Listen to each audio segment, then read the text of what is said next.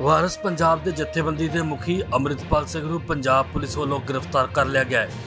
Punjab police ਨੇ ਐਤਵਾਰ ਸਵੇਰੇ ਵਾਰਸ ਪੰਜਾਬ ਦੇ ਜਥੇਬੰਦੀ ਦੇ ਮੁਖੀ ਅੰਮ੍ਰਿਤਪਾਲ ਸਿੰਘ ਨੂੰ ਮੋਗਾ ਤੋਂ ਹਿਰਾਸਤ ਵਿੱਚ ਲਿਆ ਹੈ।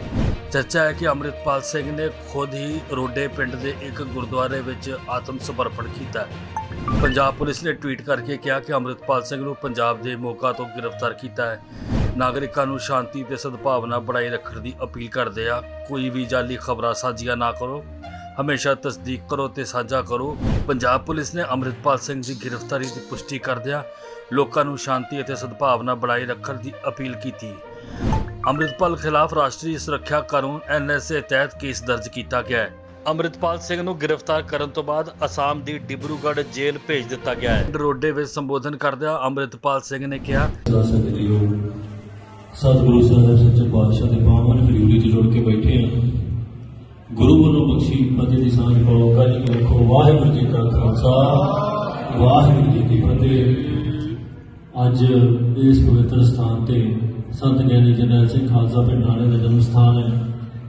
ਜਿਸ ਸਥਾਨ ਤੋਂ ਮੇਰੀ ਦਸਤਾਰਬੰਦੀ ਹੋਈ ਤੇ ਆਪਾਂ ਕੌਮ ਦਾ ਇਹ ਕਾਰਜ ਰੰਭਿਆ, ਅੱਜ ਉਸੇ ਸਥਾਨ ਤੇ ਇਸ ਕੌਮੀ ਕਾਰਜ ਨੂੰ ਚੱਲਦਿਆਂ ਇੱਕ ਜੀਵਨ ਦੇ ਬੜੇ ਅਹਿਮ ਮੋੜ ਤੇ ਆਪਾਂ ਆਣ ਕੇ ਖੜੇ ਹਾਂ ਪਿਛਲੇ 1 ਮਹੀਨੇ ਤੋਂ ਜੋ ਕੁਝ ਵਾਪਰਿਆ ਉਹ ਤੁਸੀਂ ਸਾਰਾ ਕੁਝ ਵੇਖਿਆ, ਮੈਂ ਤਾਂ ਹੋਣਾ ਨਹੀਂ।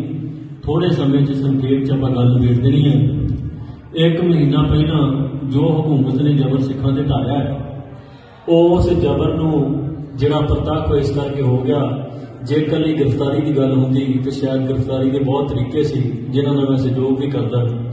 ਪਰ ਜੋ ਚਿਹਰਾ ਹਕੂਮਤ ਦਾ ਨੰਗਾ ਹੋਣਾ ਸੀ, ਦੁਨੀਆ ਭਰ ਦੇ ਸਾਹਮਣੇ ਹੋਇਆ, ਜੋ ਸਿੱਖ ਨੌਜਵਾਨਾਂ ਤੇ ਜ਼ਬਰ ਢਾਇਆ ਗਿਆ ਦੇਖੋ ਸਤਿਗੁਰ ਸੱਚੇ ਪਾਤਸ਼ਾਹ ਦੀ ਕਚਹਿਰੀ ਦੇ ਵਿੱਚ ਅਸੀਂ ਦੋਸ਼ੀ ਨਹੀਂ, ਦੁਨਿਆਵੀ ਕਚਹਿਰੀ 'ਚ ਅਸੀਂ ਦੋਸ਼ੀ ਹੋ ਸਕਦੇ ਹਾਂ।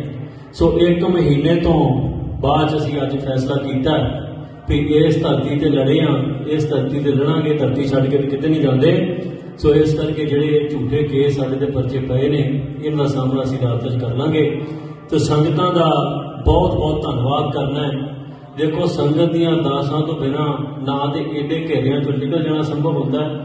ਸੰਗਤ ਦੀਆਂ ਅਰਦਾਸਾਂ ਤੋਂ ਬਿਨਾ ਨਾ ਤੇ ਇੰਨਾ ਲੰਮਾ ਸਮਾਂ ਜਿਹੜਾ ਰੂਪੋਸ਼ ਹੋ ਜਾਣਾ ਸੰਭਵ ਹੁੰਦਾ ਹੈ। ਇਹ ਸੰਗਤ ਦੀਆਂ ਅਰਦਾਸਾਂ ਦੇ ਗੁਰੂ ਸਾਹਿਬ ਦੀ ਕਿਰਪਾ ਸਦਕਾ ਸਾਰਾ ਕੁਝ ਵਾਪਰਿਆ ਅੱਜ ਉਸੇ ਸਥਾਨ ਦੇ, ਉਸੇ ਸਥਾਨ ਦੇ ਉੱਤੇ ਅਸੀਂ ਆਪ ਗ੍ਰਿਫਤਾਰੀ ਦੇਣ ਦਾ ਫੈਸਲਾ ਕੀਤਾ ਇਹ ਗ੍ਰਿਫਤਾਰੀ ਜਿਹੜੀ ਹੈ ਇਹ ਅੰਤ ਨਹੀਂ ਇਹ ਸ਼ੁਰੂਆਤ ਹੈ। ਸਤਿਗੁਰ ਸੱਚੇ ਪਾਤਸ਼ਾਹ ਕਿਰਪਾ ਕਰਨ ਇਹ ਜਿਹੜਾ ਝੂਠ ਦਾ ਪਲੰਦਾ ਸਾਡੇ ਖਿਲਾਫ ਸਿਰਜਿਆ ਗਿਆ ਹੈ, ਇਹਨੂੰ ਭੰਦਾ ਸੰਸਾਰ ਜਿਹੜਾ ਸਤਿਗੁਰ ਸੱਚੇ ਪਾਤਸ਼ਾਹ ਕਿਰਪਾ ਕਰਕੇ ਇਹਨੂੰ ਭੰਨਣਗੇ ਤੇ ਸੇਤੀ ਸੰਗਤਾਂ ਦੇ ਜਿਹੜੇ ਅਸੀਂ ਰੂਬਰੂ, ਜਿਹੜਾ ਸਨਮੁਖ ਹੋ ਕੇ ਸੰਗਤਾਂ 'ਚ ਵਿਚਰਾਂਗੇ, ਜਿਹੜੀ ਅੰਮ੍ਰਿਤ ਸੰਚਾਰ ਦੀ ਮੁਹਿੰਮ, ਜਿਹੜੀ ਖਾਲਸਾ ਵਹੀਰ ਅਸੀਂ ਸ਼ੁਰੂ ਕੀਤੀ ਸਤਿਗੁਰ ਨੇ ਸਾਡੇ ਕੋਲ ਆਪ ਕਰਾਈ ਹੈ, ਉਸ ਖਾਲਸਾ ਵਹੀਰ ਨੂੰ ਮੋੜ ਰੰਭਾਂਗੇ।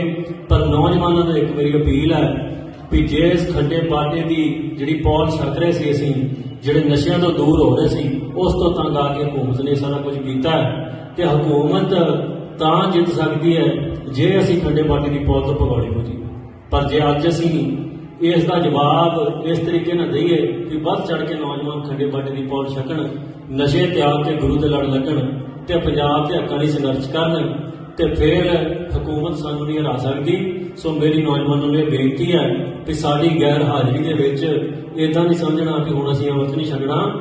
ਅੰਮ੍ਰਿਤ ਗੁਰੂ ਦਾ ਹੈ, ਸਾਡੇ ਵਰਗੇ ਹਜ਼ਾਰਾਂ ਆਉਣਗੇ, ਹਜ਼ਾਰਾਂ ਜਾਣਗੇ। ਸੋ ਇਸ ਕਰਕੇ ਤੁਸੀਂ ਅੰਮ੍ਰਿਤ ਛਕਣਾ ਹੈ। ਖੰਡੇ ਪਾਠ ਦੀ ਪਹੁੰਚ ਛੱਕ ਕੇ ਅੰਮ੍ਰਿਤਧਾਰੀ ਹੋਣਾ, ਸ਼ਸਤਰਧਾਰੀ ਹੋ ਕੇ ਜੀਵਨ ਬਤੀਤ ਕਰਨਾ ਸੋ ਇੰਨੀਆਂ ਕੁ ਬੇਨਤੀਆਂ ਦੇ ਨਾਲ ਮੈਂ ਸ਼ੁਕਰਾਨਾ ਸਾਰੀ ਸੰਗਤ ਦਾ ਕਰਦਾ। ਹਾਂ। ਸਾਰੀ ਸੰਗਤ ਨੇ ਜਿੰਨਾ ਪ੍ਰੇਮ ਬਖਸ਼ਿਆ ਹੈ ਦੇਸ਼ਾਂ ਵਿਦੇਸ਼ਾਂ ਦੇ ਵਿੱਚ ਉਹਨਾਂ ਦਾ ਬਹੁਤ ਬਹੁਤ ਧੰਨਵਾਦ ਹੈ। ਸਤਿਗੁਰ ਕਿਰਪਾ ਕਰਨ ਤੁਸੀਂ ਅਰਦਾਸ ਬੇਨਤੀ ਜਾਰੀ ਰੱਖਣੀ ਹੈ। ਇਹ ਸੰਤ ਜਰਨੈਲ ਸਿੰਘ ਭਿੰਡਰਾ ਵਾਲਿਆਂ ਦਾ ਜਨਮ ਸਥਾਨ ਹੈ। ਉਸੇ ਥਾਂ ਤੇ ਅਸੀਂ ਆਪਣਾ ਕੰਮ ਵਧਾ ਰਹੇ ਹਾਂ ਤੇ ਇੱਕ ਅਹਿਮ ਮੋੜ ਤੇ ਖੜੇ ਹਾਂ। ਇੱਕ ਮਹੀਨੇ ਤੋਂ ਜੋ ਕੁਝ ਹੋ ਰਿਹਾ, ਉਹ ਸਭ ਨੇ ਦੇਖਿਆ ਜੇਕਰ ਇਹ ਸਿਰਫ ਗ੍ਰਿਫਤਾਰੀ ਦੀ ਗੱਲ ਹੁੰਦੀ ਤਾਂ ਗ੍ਰਿਫਤਾਰੀ ਦੇ ਕਈ ਤਰੀਕੇ ਸਨ। ਅਸੀਂ ਸਹਿਯੋਗ ਕਰਦੇ ਹਾਂ। ਉਹਨਾਂ ਅੱਗੇ ਕਿਹਾ ਕਿ ਦੁਨੀਆ ਦੀ ਕਚਹਿਰੀ ਵਿੱਚ ਅਸੀਂ ਦੋਸ਼ੀ ਪਾਏ ਜਾ ਸਕਦੇ ਹਾਂ। ਸੱਚੇ ਗੁਰੂ ਦੇ ਦਰਬਾਰ ਵਿੱਚ ਨਹੀਂ। ਮਹੀਨੇ ਬਾਅਦ ਫੈਸਲਾ ਕੀਤਾ, ਇਸ ਧਰਤੀ ਤੇ ਲੜੇ ਹਾਂ ਤੇ ਲੜਾਂਗੇ। ਜਿਹੜੇ ਝੂਠੇ ਕੇਸ ਹਨ, ਉਹਨਾਂ ਦਾ ਸਾਹਮਣਾ ਕੀਤਾ ਜਾਏਗਾ। ਗ੍ਰਿਫਤਾਰੀ ਅੰਤ ਨਹੀਂ, ਸਗੋਂ ਸ਼ੁਰੂਆਤ ਹੈ। ਅੰਮ੍ਰਿਤਪਾਲ ਸਿੰਘ 18 ਮਾਰਚ, ਯਾਨੀ ਪਿਛਲੇ 36 ਦਿਨਾਂ ਤੋਂ ਫਰਾਰ ਚੱਲ ਰਿਹਾ ਸੀ, ਜਦੋਂ ਕਿ ਉਸ ਦੇ ਅਤੇ ਉਸ ਸਹਿਯੋਗੀਆਂ ਖਿਲਾਫ ਪੁਲਿਸ ਦੀ ਕਾਰਵਾਈ ਸ਼ੁਰੂ ਕੀਤੀ ਗਈ ਸੀ। ਅੰਮ੍ਰਿਤਪਾਲ ਨੇ ਆਪਣੇ ਇੱਕ ਸਮਰਥਕ ਦੀ ਰਿਹਾਈ ਲਈ 23 ਫਰਵਰੀ ਨੂੰ ਪੰਜਾਬ ਦੇ ਅਜਨਾਲਾ ਥਾਣੇ ਤੇ ਹਮਲਾ ਕੀਤਾ ਸੀ। ਇਸ ਘਟਨਾ ਦੇ ਬਾਅਦ ਤੋਂ ਪੁਲਿਸ ਉਸ ਦੀ ਭਾਲ ਕਰ ਰਹੀ ਹੈ। 20 ਅਪ੍ਰੈਲ ਨੂੰ ਅੰਮ੍ਰਿਤਪਾਲ ਦੀ ਐਨਆਰਆਈ ਪਤਨੀ ਕਿਰਨਦੀਪ ਕੌਰ ਨੂੰ ਅੰਮ੍ਰਿਤਸਰ ਹਵਾਈ ਅੱਡੇ ਤੇ ਇਮੀਗ੍ਰੇਸ਼ਨ ਅਧਿਕਾਰੀਆਂ ਨੇ ਰੋਕ ਲਿਆ ਸੀ। ਉਹ ਲੰਡਨ ਜਾ ਰਹੀ ਸੀ। ਕਿਰਨਦੀਪ ਤੋਂ ਸ੍ਰੀ ਗੁਰੂ ਰਾਮਦਾਸ ਜੀ ਅੰਤਰਰਾਸ਼ਟਰੀ ਹਵਾਈ ਅੱਡੇ ਤੇ 3 ਘੰਟੇ ਤੱਕ ਪੁੱਛਗਿੱਛ ਕੀਤੀ ਗਈ। ਇਸ ਤੋਂ ਬਾਅਦ ਕਿਰਨਦੀਪ ਨੂੰ ਰਿਹਾ ਕਰ ਦਿੱਤਾ ਗਿਆ। ਅੰਮ੍ਰਿਤਪਾਲ ਸਿੰਘ ਨੂੰ ਗ੍ਰਿਫਤਾਰ ਕਰਨ ਮਗਰੋਂ ਪੰਜਾਬ ਪੁਲਿਸ ਨੇ ਲੋਕਾਂ ਨੂੰ ਸ਼ਾਂਤੀ ਬਣਾਈ ਰੱਖਣ ਲਈ ਕਿਹਾ ਹੈ।